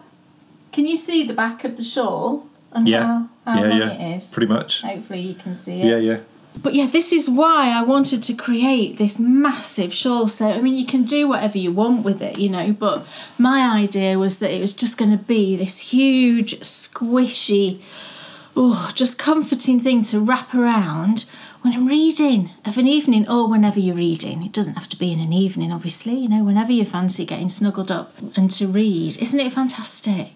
It's just, it just came out exactly how I wanted it, which is amazing because I kind of winged it, you know, in terms What's, of. what's really surprising about it is it actually looks really quite elegant. Does it? Yeah. Oh well, that's good, isn't it? You know, I I cho- I say I chose these colours, but I used an advent calendar from Pixie Yarn for the coloured stripes, and then I placed them into a rough kind of rainbow order, just because I knew that would be pleasing to look at. So yeah, this one is quite bold and bright in the colours, but then you could see from the one I'm knitting for Bryony how you can adapt it to whatever your colour palette is and it's just fantastic. So I used altogether it, it weighs 800 grams, but you're only knitting effectively half of that because the yarn's held double. So you're knitting through effectively 400 grams because it's you know it's double. And That was excellent, Kate. Thank and you. that was a terrible dis- way Thank you for all of that. describing it, wasn't it? It's just an awful way of describing it. But this is all I had left from 24 mini skeins and four 100 gram skeins of the contrast colour. So that's all that was left in that little bag. So, I mean, that's really good, I think, that you don't have a huge amount of leftovers and you can just create something just so fantastic. So, look, yes, I did a picot bind off. Can you see that? And yeah, I know that picot bind offs are not everybody's cup of tea, but you don't have to do it. You can just do a normal knitted bind off and have a plain edge if you wanted to do that. Not a problem. But I just wanted to add just an extra little flourish at the end. And okay, it took a bit of time, but you know what? You know, I was doing it and I was thinking, well, if I wasn't doing this, I'd be knitting something else, wouldn't I? For me, So it's just knitting, isn't it? the perfect comparison is this beans on toast is fast and it's delicious, yeah. but beef bourguignon. No. Mm, I'd rather have beans on toast. Oh, shut up. Sorry. Well, okay, so so don't bother with the picot bind off because it, it, it's not worth putting in effort. Oh, say like chicken chasseur instead. No, Okay. it's not 1982. Well, you said beef bourguignon. I feel like chicken. you said beef bourguignon, You which made is 1982. beef bourguignon. It took 28 years. Oh, don't and even. Bryony said it was the most delicious It's thing true. she'd ever eaten in her life. I did do it. I filmed it on, on something for, Yes, you did. for the show. And everyone knows it's, a, it's linked in the show notes. I, I made the Julia Childs beef bourguignon, and uh, it it was mind blowing. it was fabulous. Yes. So the It point took is. forever. But the point is, like life, the more you put in, the more you get out. Oh, absolutely. It was delicious. Yes. It was completely delicious. And really, it was worth the effort. But you, you've got to set your day aside if you want to make that. But Just like a picot not? bind off. Just like a picot bind off. You have to set a day aside, but Yeah. it's worth it. I think it's worth it because for me, it just adds that little finishing touch and it kind of gives it a slightly sort of, I don't know, Victoriana feel somehow. I don't know. Maybe that's just my vivid imagination. A plain bind Um, off is not memorable. A picot bind off is. Yeah, and I, I think it's worth the effort. And like I said, whether. You're not going to do it on every project you ever make. well, no, of course not. You're going to pick. But whether you're knitting a picot bind off on this or whether you're knitting a pair of socks, you're knitting at the end of the day, aren't Yeah, you? yeah. It's all knitting. Yeah. So it's just a mindset. And the more I did it, the more I was stretching it out and going, oh, this is just absolutely what I wanted. Chicken chasseur. I like chicken chasseur. I can't remember the last time I had it, but it's very delicious. I'll pick some up, honey. Chicken tonight. Oh, not chicken tonight. Gosh, I mean, did you ever use that? Do you feel like chicken tonight? do they still make chicken tonight? I don't know. I don't think That- they do. I bet they do. Hopefully they've gone bust. No, I bet they do. I bet, I bet they still make Dolmio as well. Did you ever use? Well, Dolmio's a brand. They don't make it. what do you mean? Dolmio is the brand. I know, but they, it's like a sauce for bolognese, isn't Yeah, it? there's lots of different types though. Oh right, okay. Well, whatever. I used to occasionally use it. That's okay. I've got more time for Dolmio than I do chicken tonight. I've never used chicken tonight. I You did. said I, you had asked- chicken chasseur. I made it. I bet you didn't. Right. Okay. Anyway, go on. Carry on with your shawl. Speak to him later. Yes. So yeah, it's all done, and isn't it lovely? And I love it, and I can't wait for Bryony to have hers. And I have used this. I I have taken some photos of this, just kind of holding photos for the pattern, just so I could get the pattern into testing. But I do want to take some photos of it being used as a reading shawl, if you like. But yeah, I'm I'm waffling now, aren't I? Dan's laughing at me. Well, I love it. I, I, 'Cause I'm waffling. Photos being used as a reading shawl, as opposed to as a cooking shawl or a walking the dog shawl. well, you could walk. You could. Could, walk, of course, you could. could walk the dog with it. Yes. Yeah, if you wanted to. It's beautiful. It looks gorgeous. Yeah. The design, I think, is tremendously elegant, which is a surprise because I don't think sh- a lot of times shawls don't look elegant to me. Well, I didn't knit it to be elegant. I know you didn't. I, knit it for a practical purpose and to en- just enjoy. And it just so happens that when Enjoy you slung it on and stood up, it looked elegant. You could go out in it. Right. Okay. So- well, that's that's cool, It isn't it? is. And I think it's the size. Yes, it's huge. I mean, it is And- it is huge, but that is exactly what I wanted. I've never knit a shawl as huge. And it looks surprisingly light. Yeah, I mean it's 800 grams, which is a good a good amount. But once it's on you, I don't. I don't I think it- this does not look bulky. No, it's not. And quite often with a really shawl, bulky. it can sometimes, I think because it's like wrapped around, probably because there's so much of it, it's like encompassing your whole body. I know it's Yes. fabulous. Anyway. I need a book. Yes. I need to just sit in my chair and like read a book 'cause it's nice and cool today. I could actually just sit and read a book, but no, I need to take some more photos before it, it gets into proper usage. So yes, it's like I said, it's just gone into testing, and I'll just I'll keep you posted as to when it'll be coming out. Wonderful. Yay! Right. The moment has come for us to return to Mount Grace Priory and for us to explore the Great Cloister. And trust me, it was worth the wait. Let's head back for part two of the rise and fall of the monasteries.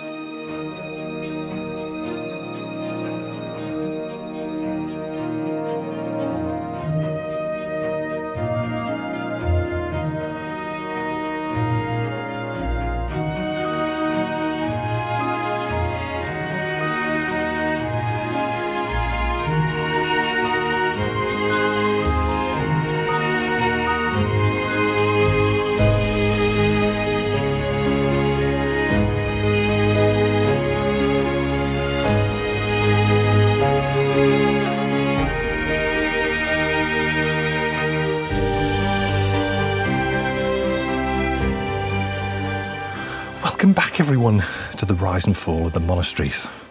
We are exploring the wonderful charterhouse of Mount Grace Priory. And when you left me, the priory's founder, Thomas de Hollande, had just been executed. Now, in medieval England, this created a serious problem. It was highly likely, without a rich patron, that your lands would be confiscated and given to the king. What you needed was someone important and wealthy with the ear of the king who could secure your future. Now, what most probably saved this monastery was the fact that it was a Carthusian charterhouse and people wanted to see them successful. And the wonderful thing for Mount Grace Priory was history was about to repeat itself. The new King of England was Henry IV. His rise to the throne would begin what is known today as the Wars of the Roses. Essentially, this was a family squabble between cousins about who had the right to be King of England. Henry IV was a great supporter of monastic life, and he specifically wanted to support the growth of Carthusian houses. So he turned to his half brother, a man called Thomas Beaufort, and he asked him to take Mount Grace under his wing. Thomas took to his job with great gusto, and he's actually known to this day as the saviour of Mount Grace Priory. The majority of what we see today built in stone was done so because of Thomas Beaufort. Now, we've had a good look at the Priory and we've learnt an awful lot about what was going on outside of this great cloister. The question was, what was it that the monks were actually up to within the sort of main part of the monastery? Let's go and have a look in one of their private cells to find out.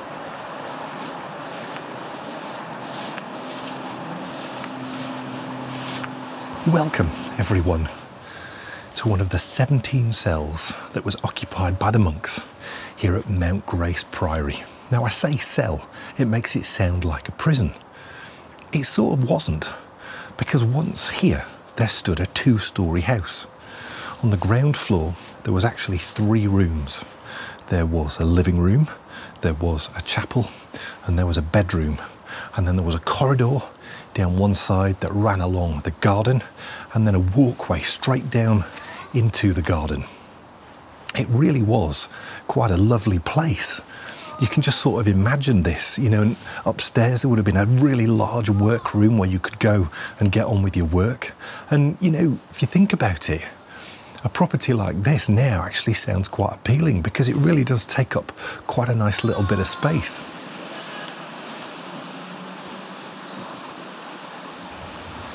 My favourite part, though, of this monk's cell was the garden. All along to my left here, would have been herbs and flowers and lots of wonderful things. There's one thing, though, that you might have noticed that's missing from what we've seen so far at Mount Grace Priory, and that is, of course, a river. Everywhere we visited so far had a fresh water source because all monasteries needed water flowing through the site to water their gardens and their crops and also to flush their loos.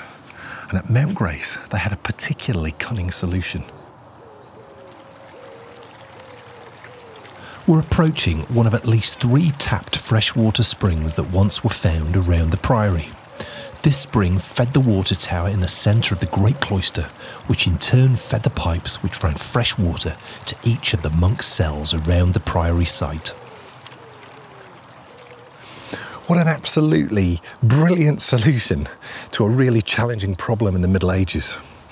Good quality running water, absolutely vital for a healthy site. Now, it's been wonderful, hasn't it, to walk around this ruin of the monk's cell and discover a little bit about what was going on here. But we don't have to use our imaginations here at Mount Grace Priory because in the 19th century, archaeologists at the time decided to make a reconstruction of one of these cells. So, shall we go take a look at one of these gorgeous places in all their glory? And while we do it, let's discover a little bit more about what the monks actually did here at Mount Grace Priory.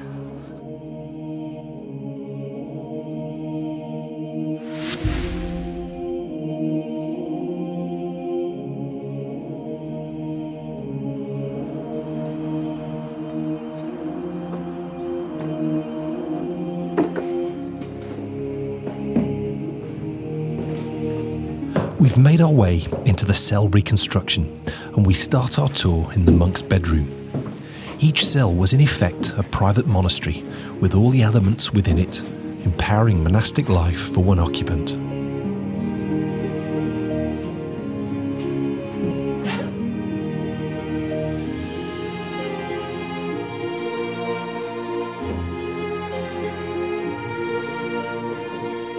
We're making our way through to the living room. This is where the monk would have eaten. We'll see how he was provided with food a little later.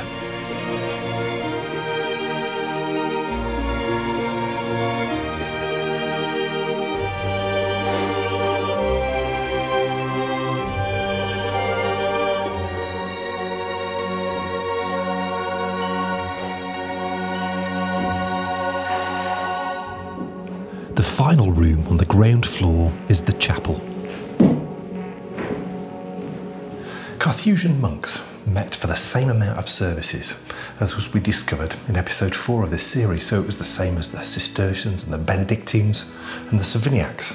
The difference was they only met twice a day for services together.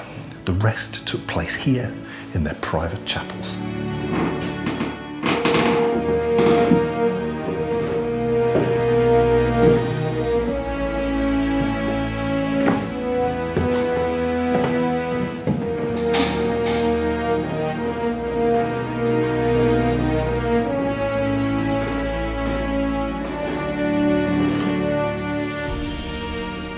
Rest of the time they spent here in their workroom.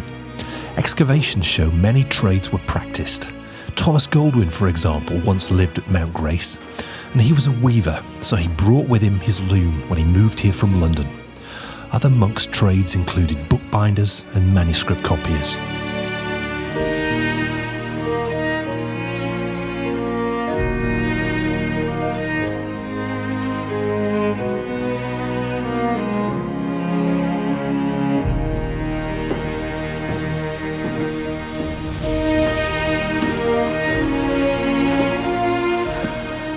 Garden is exactly as you would imagine, so unbelievably tranquil, and you can just imagine a monk pottering around in this garden, taking care of his herbs or growing vegetables for him to eat at his table. There is, though, one thing which does really stand out, and it's really poignant that this is here, because these walls, it's a lovely space, but they do feel high, and they do feel like you really are secluded and enclosed. And enclosed is perhaps the feeling that I'm getting the most from this space. So, whilst it is just lovely, it does feel a little bit like a prison. With all this seclusion does come some luxury, though, because at the end of the garden we find the monk's very own private loo. It's spectacular to see that reconstruction. Well, the reconstruction of the whole place, to be honest, not just the loo. And whilst it's 19th century, it's been done, you know, to the absolute tip top archaeological knowledge of even today, changes have been made. Now, we've discovered how Carthusian monks spent 90% of their time because it was here. But two questions remain for me. The first is how did they eat? Well, they met every Sunday as a community to eat in their refectory. For the other six days a week, they were brought food once a day by a lay brother, but they weren't allowed to see anyone, so it was passed to them through this L shaped hatch. You can imagine how pleased they must have been as they reached in to pick up their dinner. Here's the hatch on the other side, which the lay brother would have passed food through. As we leave that wonderful reconstruction behind, we're actually going to walk by loads more of those food hatches in each of the cells as we walk around, and you can just imagine the lay brother. Similar, probably, to what it's like with hospital food when they bring them round without the heated trolleys, of course, passing them through, and then the monk on the inside taking the food and taking it into his living room and having some lovely tea. But what was it that he was eating? Well, by 1400, the diet of many of the houses that we've visited so far in this series had already got quite lax. They were eating more and more meat and they were just bending the rules. The Carthusians were extremely strict in their approach and they stuck to the original principles set out by the very first hermits that they based their life on. People like St. Anthony, the very first, well, many people claim he's the very first person to go and live as a monk in Egypt. Archaeological exploration in the kitchens has shown that the only food that was prepared in the kitchen at Mount Grace Priory was vegetables, fish, and seal. They did consider seals as seafood. They came out of the sea, so clearly back then they didn't really think more deeply as to what actually they were. And rather wonderfully, the Priory's original fish ponds still remain. So if you were living here around 1400, your diet would have been vegetables, fish, and seal. Lovely. So the first question that was on my mind was how did they eat? And we've we've answered that.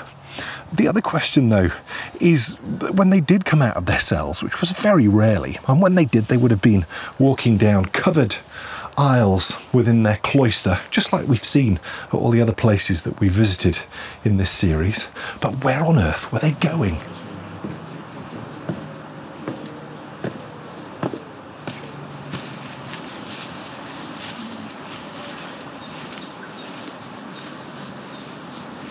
Every Sunday they would meet here in the chapter house, just like every other monastic order. They would meet here to make plans, discuss abbey business, and also administer any justice. And at the end of every meeting, just like most of the monastic orders that we visited, th- the meeting ended with a reading from the Rule of St. Benedict. Now, the Carthusians actually lived by their own rules, which they call statutes, and it just goes to show you how valued and how powerful the words of St. Benedict were, that even here at a Carthusian priory, at a chapter house, they still finished their meetings in their chapter with a reading from the Rule of St. Benedict. There is one thing here at Mount Grace Priory that I've never seen anywhere else.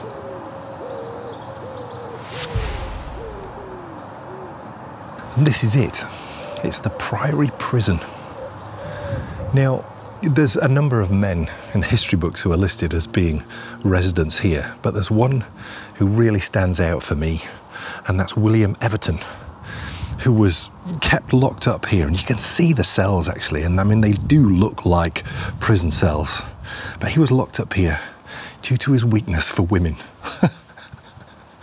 you have to wonder, don't you, how on earth was he meeting them? I mean, we've seen, haven't we? Secluded cells, massive walls, virtually never coming out. When on earth would you find time to meet a woman? Perhaps it's a case of if you know the right people, you can always make things happen. Interesting thing with William is they actually moved him from house to house in the hope that he would eventually mend his wicked ways. I wonder if he ever did. It's actually fascinating to walk through this because I have never seen a prison before in a monastery. It seems that once you were a Carthusian, you were always a Carthusian. There is, of course, one more place where the monks of Mount Grace Priory visited, and they visited there twice a day, and that was, of course, the Priory Church.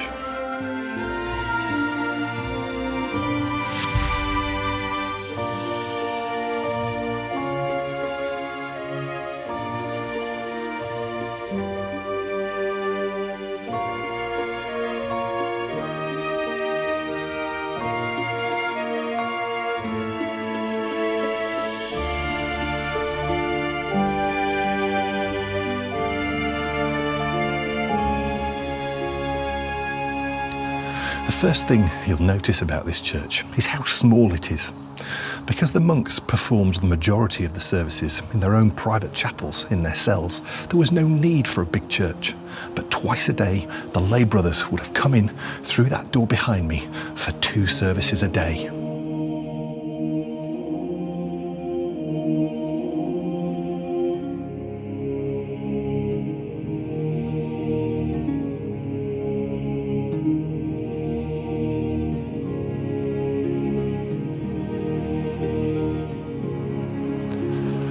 The church would have felt very similar to the ones that we visited previously in the series, except this one was much more austere.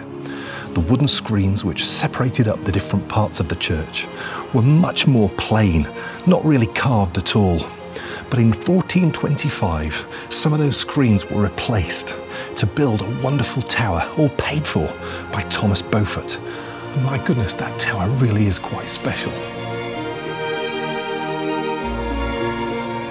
As we pan up the wonderful tower, you might notice the lines in the external walls. They actually mark the three stages of its construction. Each of those lines was once the roof, and as the tower got taller, the roofs became floors, which could be accessed by a spiral staircase. The top of the tower was the belfry with beautiful transomed windows.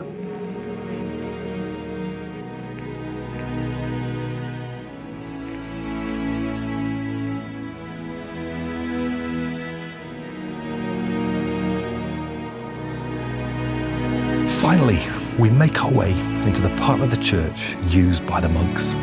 Twice a day, they would meet right here for matins and vespers.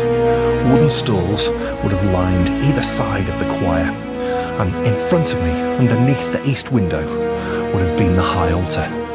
But something truly wonderful does remain here in the church at Mount Grace Priory, and that is the man who empowered the building of the majority of this in stone at least and that is Thomas Beaufort, whose tomb is right here.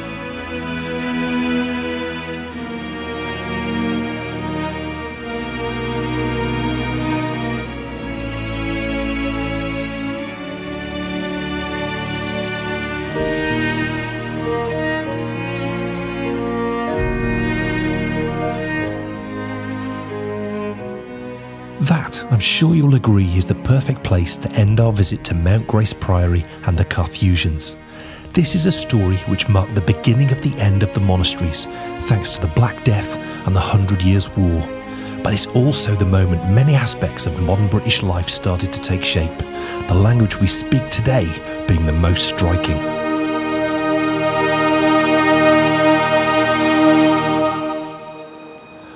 And it was all set against the backdrop of this absolutely spectacular building.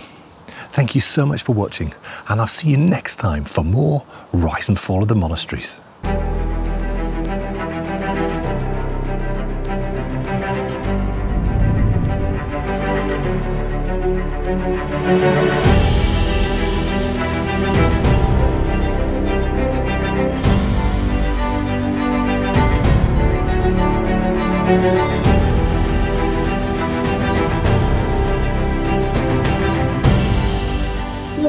Story! Oh my goodness, you can totally see why I was excited about this, can't you? There's so much to go at. I mean, just the Black Death itself, you could do episodes and episodes about. Mm. And one thing I didn't cover in the episode was do you remember how in episode five we learnt a little bit about the Mongols and about their postal routes mm. that they developed, the first really sort of advanced postal routes? Well, historians now think that the Black Death spread along those postal routes. So it was transported along the postal routes. It then yeah. crossed the sea on the rats and just Well, I think you know from the realities of the last few years, we can we all understand how viruses spread. Yeah. Absolutely, you know, you just can't stop them. you can't. I'm So- tell you what. I'm thankful that Well, COVID. Absolutely, be thankful that it, compared it to wasn't the Black Death again, because well, we'd all be in a different situation, wouldn't we? we would. Yeah, the beaky things are just terrifying, aren't they? That they used to Yeah, wear. that wasn't me trying to scare you. no, that they in, in to part wear one, those. that is what doctors wore. They thought that that would keep them away from the patients that they were treating. the distance, Yes. and you know they're probably right, aren't they? I'm sure know? it probably helped a little bit, but Yeah, I'm yeah, guessing if the they- person sneezed, you probably were still in trouble. I'd, I'd, I'd guess so, and you know they wouldn't have had, had antibac gel and things that we have, so or anything really. or anything. Just yeah. some herbs from the garden. What about the garden of the reconstruction? Wasn't it lovely? I could have lived in that garden. I just thought it was beautiful.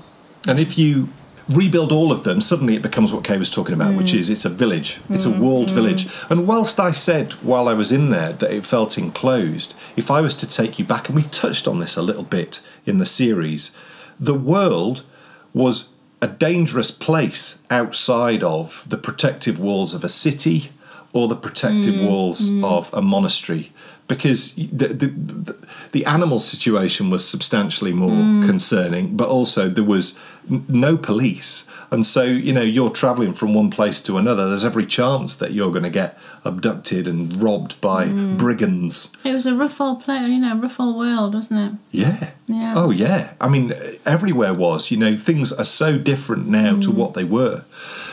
What a great start to the beginning of the end. And i i next episode, it's the sort of. Some people would say it's the jewel in the crown Some word. of the monasteries of England. You'll have to try and guess. All will be revealed in episode 8. That's coming out on the 25th of August because next time, oh yes, my favourite blanket is back. It is. It's the start of the decreases, baby. It is, and I've um, trialed the the dye color, and it's it's fantastic. And we're we're very much moving into that sort of autumn phase. So yeah, Wonderful. Lovely. Right now, though, it's time for the Eddie Bits. Bendy bits. Self striping yarn KAL is coming in September. Yes, we've got a knit along coming in September, as Dan's just blurted out. We thought we would run a self striping knit along for everyone, everyone out there, anyone can join in. And it's going to run just through September, so it's going to be the self striping September.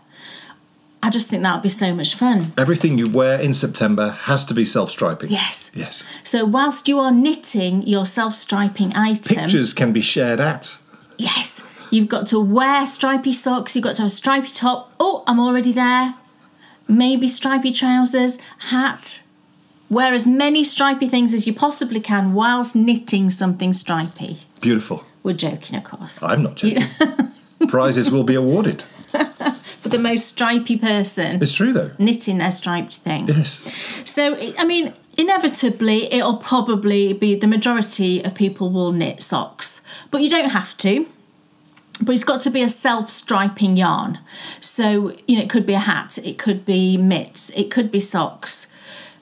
I won't say, I mean, it could be a garment, but generally you wouldn't use a self striping yarn for that. Maybe you've got a DK self striping, in which case you could. But yeah, it's self striping knit along through the whole of September for everyone. So we will have a few prizes. The purpose of it really is just to have a bit of fun. It's you know, it's the start of autumn. It's oh, it's a lovely time for me. I'm very happy to get into September, and I know there are a lot of people out there who feel the same. So it's a little celebration of getting to September. We can knit loads of socks. I know we everybody, or a lot of you out there, love knitting socks, and because I've been working with a lot of self striping recently for my fairground pattern it just sort of made me want to knit more and more self striping yarn. So I've collected a nice little hoard of it. So I'll definitely be knitting some stripy socks as well. So I've got a few prizes that I'll be awarding. And also, as well as these three prizes, there will be, I think there's two skeins of yarn from Freckled Whimsy. Carrie very kindly said she would donate two skeins of yarn to our knit along. So she's just going to send those direct to the winner. But I do have some prizes here as well. When I was working my fairground socks, I purchased some yarn yarn for it from Fab Funky Fibres. She's a dyer here in this country, and when she when she sent me my order, she added in two of the skeins, and she just said, "Do whatever you want with them." So I was like, gosh, wow, thank you so much. So these will be two prizes. So we've got two sock sets. And there's, there's two 50 grams here, which are the striping element, and then a 20 gram mini. So this one is Walking on Rainbows. Gorgeous. And this one is Never Going to Give You Up. That sounds like a very posh way of saying the song, doesn't it? And again, it's split into two 50 grams for the stripes and then a 20 gram mini. So I've got those two sock sets. And then I had a very kind donation from a viewer of a little yarn that I've never seen this before.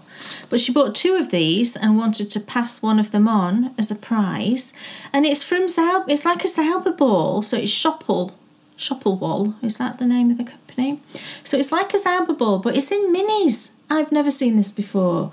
So it's 100 grams, but it's split into what? One, two, three, four, five, six, seven. That's an unusual number, isn't it? into seven different colours. How fun is that from Schoppel?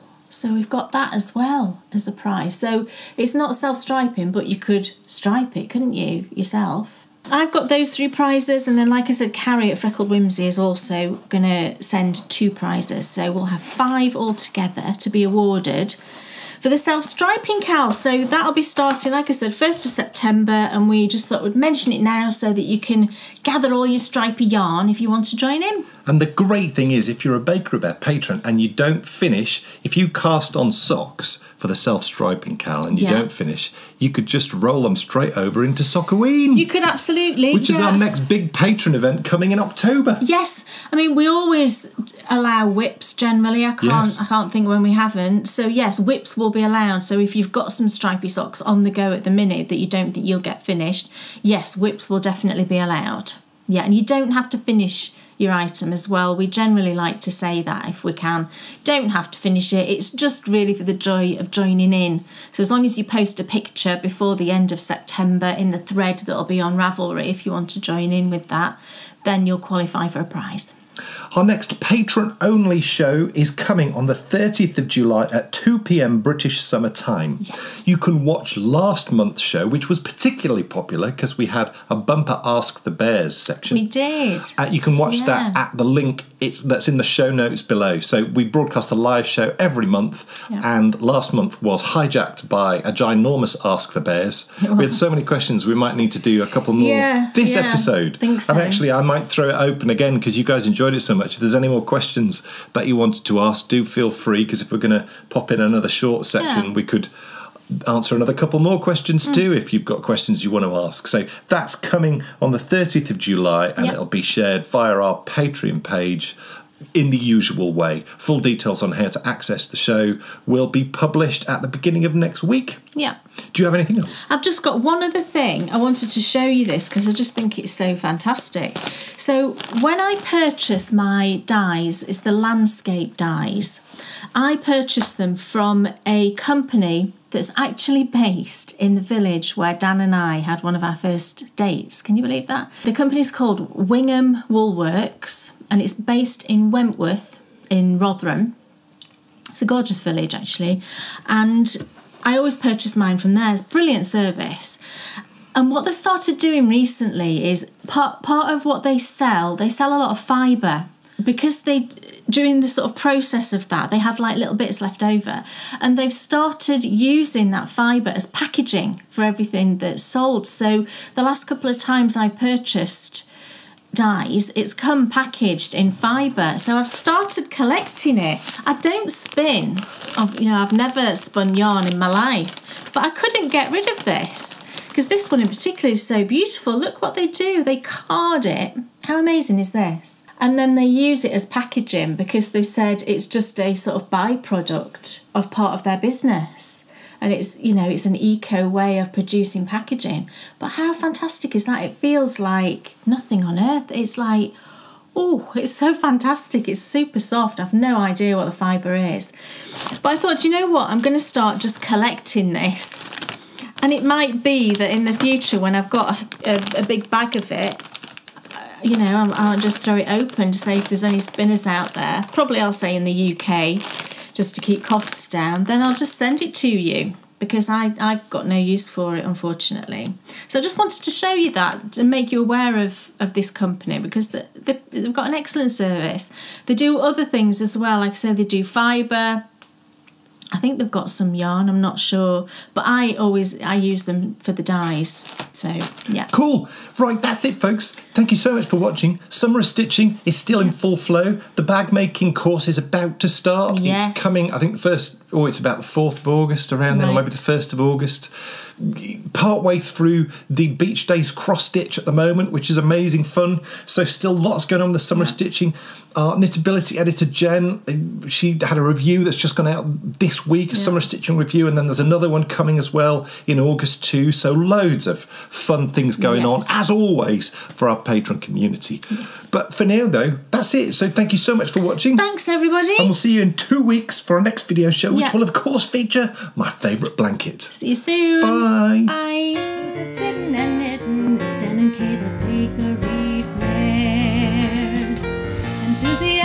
Quitting Ben and Kate the bakery bears. They'll take you to fabulous places of which their favorites they'll share. You better buy a pattern and get yourself a bakery bear.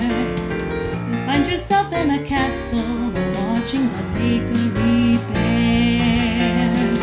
It never feels like a hassle to sit and watch the bakery snares. What's on your shelf or what's in your box?